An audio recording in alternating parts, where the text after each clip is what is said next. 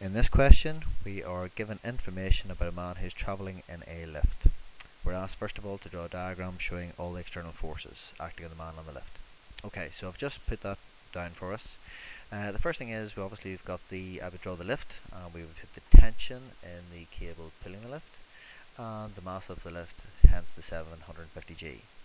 We'll then put the man inside the lift, so his weight is 65g acting down the way, and also they add in the natural reaction. In part 2 then we're told that we want to work out the tension of the cable when the lift is accelerating upwards. So I'm focusing on the external forces of the lift.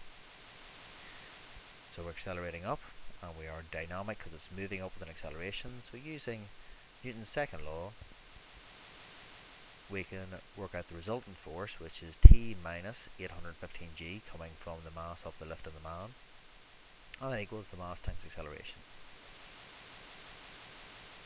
From here we can solve and work out the tension. And make sure we record our answer to three significant figures and in newtons. In part 3, this time we are asked to work out the reaction between the floor of the lift and the man when the lift is accelerating downwards. So I'm focusing on just uh, the man on the lift this time. Again, the resultant force this time will be 65g minus r. And again, that equals the mass times acceleration.